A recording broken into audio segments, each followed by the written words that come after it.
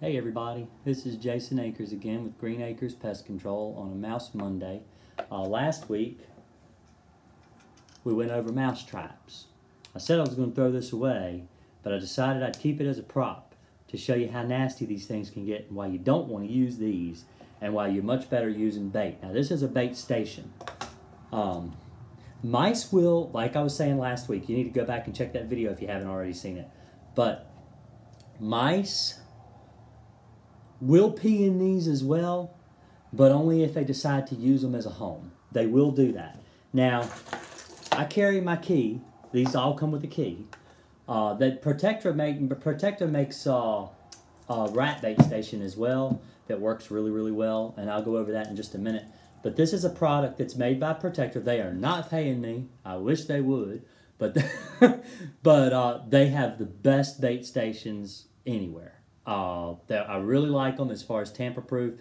They're not easy to get into, and so you don't have to worry about somebody's child coming along and finding a bait station and getting the rat poison out of it because you don't want that to happen. If you bait, you need to realize that baiting for mice is something that is, you have to be very careful. You have to read all your labels. You have to make sure you're not misapplying the rodenticide because rodenticides are serious business. You could make somebody's pet very sick or worse. You could make somebody's children very sick or worse. You don't need that. That's not something you need to do. It's why a lot of exterminators have moved to uh, trapping or using glue boards or something like that to get mice. I still use bait. I uh, you have to be real careful and like I said, read your labels.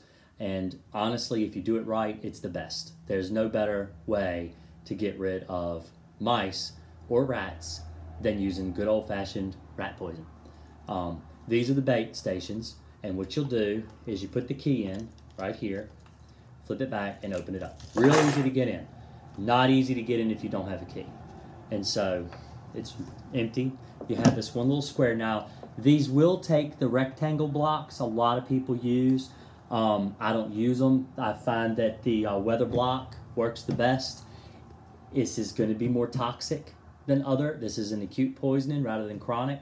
Now, the difference between chronic poisoning and acute poisoning is chronic poisoning means the mouse has to constantly feed. They have to feed once a day, twice a day, you know, at least once every couple days. They have to feed on it to die. Uh, they just need to bite this one time. If they eat just a bite, it's enough to kill them. It's like I said, it's pretty high toxicity. You have to be real careful. It's a very restrictive label.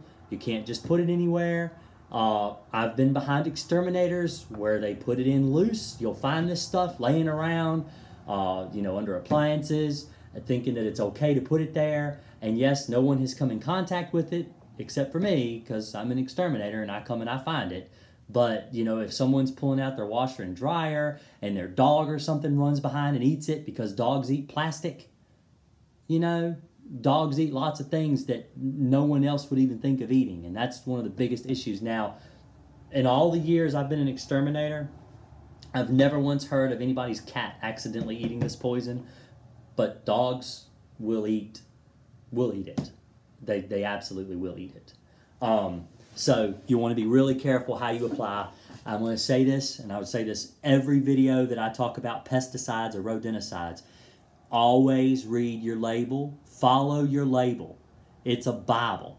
When you're going to apply pesticide, you do what your label says. You do what the rodenticide says, always. And labels are different. You may not even be able to buy this in some states. You know, that's that's just the thing. Because it's poison, because it's a pretty strong poison, you you uh, you may not be able to buy it. They've they've started to become really restrictive on rat poisons. The EPA back I believe it back in the year 2006 I think it was actually filed a motion to eliminate all rat poisons from the market. Now I don't know how much you know success they've had with that because this is what 2017 and you can still buy this. You can find this online. You can buy this. It's really effective. It works really well.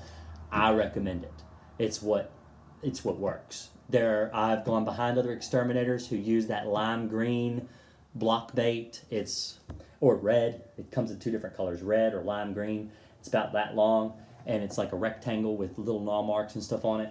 Um, I'll show you what this looks like. This is a little blue block, sealed in wax. And you'll notice I'm wearing gloves. Always wear gloves when you apply, when you handle pesticide or rodenticide. Always. You don't want to get any poison on this. You don't want to get any insecticide on this. Is what I should say. This is rat poison. You want it to be palatable. You want the mice or the rats to want to eat it. If I came in your house and I was a pest control technician, you know, which I am, and I'm treating around underneath your stove or underneath your, and this stuff is laying out, for one, it shouldn't be laying out. And two, you don't want to get any pesticide on it because the mice will not eat it, which is why it's really important to put them in a bait station. Now, you just, it clicks right in, just like that. It holds it really well, and then you close it, it's not going anywhere. It's not going to come out. Mice can't get it. You can kind of reach in, you can kind of feel it in there, but it, this is not coming out of this box. It is in there, and just to show you how hard it is to get into one of these without a key, you can't, you just cannot break into it at all. It's really well sealed. It's why I always recommend these. Now you can, of course, you can get in it with a screwdriver. You know, you can fiddle around with the hole and you can make it work. You can get in. I've done that when I forgot my key, which is why it's on my key ring because I can't drive my car without my keys. So it's a good good practice to keep it somewhere safe where you know you're going to have it if you buy these kind of bait stations so you can get in there and you can check on them and you can put new poison in it. So always look after your bait stations. Make sure they stay in the place where you put them. They need to, you know, you need to know how many you've used on a job. If you've used four stations, if you've used 10 stations, you need to make sure you check every single station every month. Now that's mainly for pest control technicians, but this goes for homeowners too. If you're thinking of doing mouse control yourself, you need to keep on your bait stations, make sure, because what will happen a lot of times is, and I'll open this back up to show you. It's so easy with the key. Um, a lot of times what will happen is the mice will start to eat around the edges of this. They'll start to eat in here and they'll make a groove in there and it will cause the bait to get loose and it'll shake around in there. So you want to make sure you check your bait stations. If the bait gets kind of loose and you think it might get drug out because mice will drag food around, they like to pack it, pack rats and stuff. And so you want to make sure that it's not loose and rattling around in the box because what will happen is a mouse will pick it up. If they think they can carry it, they'll pick it up, they'll carry it out, and then they'll drop it in the middle of the floor because they get spooked, and then there's rat poison in the middle of the floor. And who gets blamed? You do. Even though the mouse is the one that did it, you're the one at blame because you didn't keep an eye on your bait stations. Always look after your bait stations. And now we're going to move on to a rat bait station. Uh, also, at this point, I'm going to uh, plug myself. uh, you can check me out on greenakerspc.com. It's A K E R S. That's how you spell my last name. Um, that I've got a really good informative article there, and I mentioned this on my first video as well about mice, about rats and the diseases they carry, and about the uh, cops driving past the house running sirens. um, but anyway, yes, it's, it's about uh, mouse control, rat control, why it's important to, to practice proper rodent control in your home. Um, and the diseases and stuff. So I highly recommend you go and check that out. I'll link it in the description below. But um, and I go through that a lot too on my first video if you want to go check that out. But this is a rat bait station here. Now this is a brand new one, never been opened. Of course that was new too. I always try to use new stuff. Um, so the way this works is it's you know pretty involved bait station. Take the tape off here.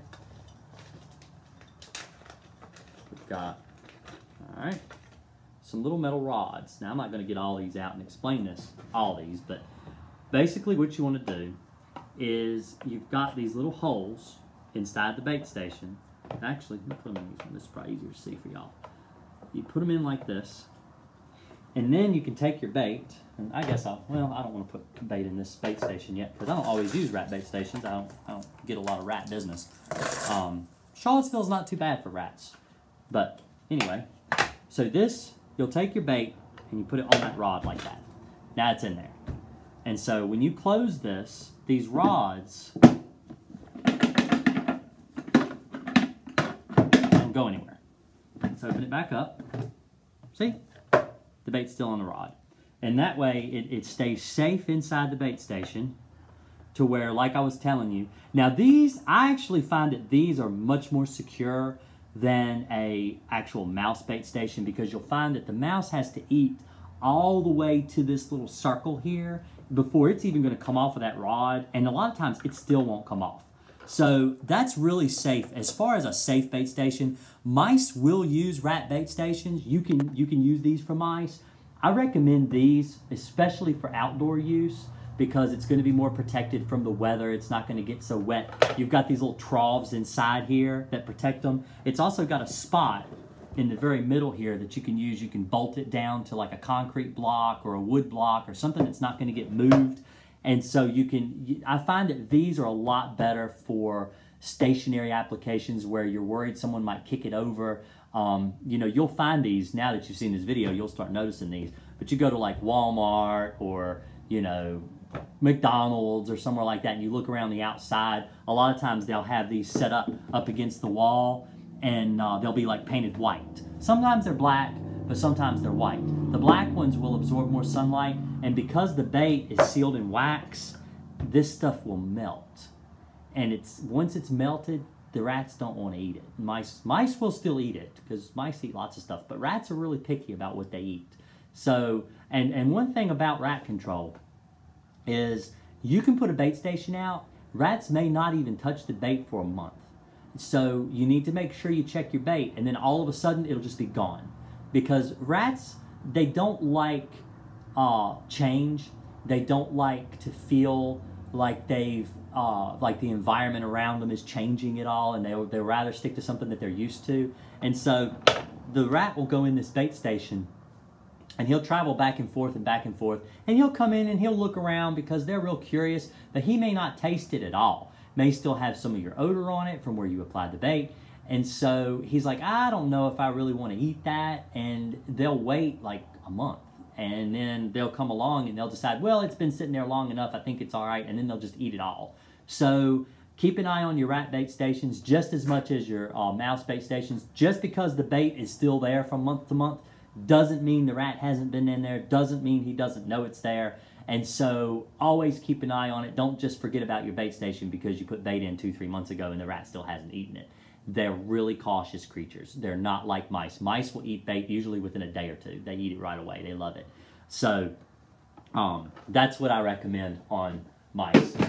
Uh, so anyway, that's that's about it for today, I think, on rat bait stations and, and the mouse bait stations. We'll go over some different uh, rodenticides that I use.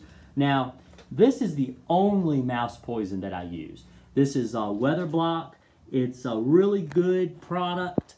It's, um, like I said, it doesn't work for every application. It's, you know, you have to be really careful how you apply it. I have turned down rodent jobs because it's just, you know, it just wasn't the right poison for the job. So, you know, keep that in mind when you buy something like this. This is a pretty expensive rodenticide. This is going to cost you a lot of money, but it's the number one best thing on the market. I can't, I cannot talk any better about it. I've been behind exterminators that have used tracking powder.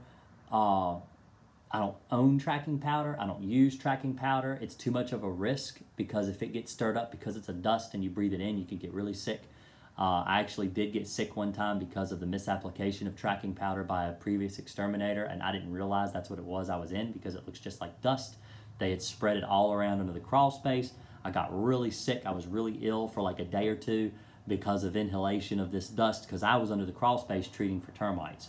And I wasn't even thinking about rodents underneath this crawl space, but they had put that powder everywhere. And we're, of course, drilling through it and stirring it up, and it's getting all in the air, and you're breathing it in and so I don't advise tracking powder ever. It's just too toxic and too much risk. And a lot of states have actually banned the use of it anyway, uh, unless it's down inside a burrow, you know, in the ground where no one's going to come in contact with it. In a case like that, it might work, but it's going to get wet outside. So, in in in all of my uh, in all of my expertise and all of my years doing exterminating, I never use tracking powder for mice. Bait's the way to go. It works. It's really effective. Um, and I guess that's all for baiting for mice. Let's see. I'll, I'll, I'll, go over one more thing too. Let me put this back in here so I don't lose this. This is. I'm so sorry. That was really loud. Um. anyway, uh, try to put this back away here. I want to go over a little bit and explain to you on how to properly install a bait station. Because much like the mouse trap, and like I said, you can go back and you can check my video on mouse traps. It's almost the same. You want to apply it up next to the wall. Now with a rodent bait station, it's, you've got, if you look at the side of the bait station, you've got a hole there. That's where the rat's going to travel through. That's where the mice are going to travel through. You want to put that right up against the baseboard, slammed right up against the edge so that the rat comes along, he's like, doo doo doo doo, and he sees the hole and he goes in there and he finds a bait and he eats it. That's what's going to be effective. You don't want to turn it around like this because the hole is not there. The rat will come up. He might go around and he might go in this hole or he might climb up and go over the top. You want to be as inviting as possible. You want to put the hole right up near the baseboard where the rat's going to notice it. Same with mouse bait station. Now, these are the reason I like these bait stations so much is because they work really well because there's the hole there. They work really well up against the baseboard, but they also work really well in a corner. So you could imagine that this is like a corner. You could use a corner this table right here where it's like a little groove right there. So the mouse is coming along and he, he guts along the corner. He goes in this hole, finds the bait, eats it, and comes out this hole and goes right on back down the wall where he came. So you could imagine that's a wall there. So they work really well in the corner. They work really well on the side. You want to put these places that no one's going to come in contact with it. You just want to be really careful with your bait. I can't stress it enough. Always, always read your label. Just like like I said, I'm. It's been a couple years, and since I started my YouTube channel, um, and I, I just want to be upfront and honest with you. When I start to talk about chemicals and rodenticides and things I use and how I use it, I don't want you to get the wrong, you know, I, I want you to get the wrong idea. I don't want you to think that, oh yeah, this is the this is the thing for me. I'm going to do this. It's going to work. It's going to be great. And then you go and poison your pet. You know, I don't want to hear that you know your dog got sick and you killed your dog because you misapplied rodenticide. Rodenticide is an extremely serious thing you need to really contemplate before you decide to use it, because you need to realize that when you use it, there is always, and even when I use it, there's still a possibility that a mouse might get in one of these and carry the bait out even between visits if the mouse infestation is that bad. And so you just have to realize the risk that you run. Maybe it's better to cut, to check it in a couple weeks. You know, I have done that on mouse jobs. I've gone and done an initial, and the mice were just so bad. I thought it was safer to come back in like two weeks. And when I came back, the mouse poison was almost gone. And so it was a good idea to do that. And sometimes that's what you need to do in order to keep your customer safe, in order to keep yourself safe. So, like I said, always wear your gloves you do have to replace these every now and then, just like with the mouse traps with peeing on them and stuff like that. They don't have to be replaced that often, but you know you should think about replacing them about once a year or so. Get new mouse traps. Then bait stations, yeah, that's what they are. Um, so I hope this has been an informative video for you. If you really like my videos, give me a thumbs up. Really appreciate it.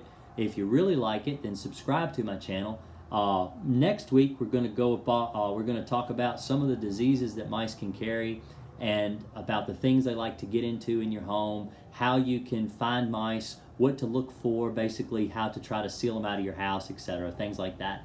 So uh, I hope you look forward to seeing me next week. I really appreciate it, and y'all have a great day.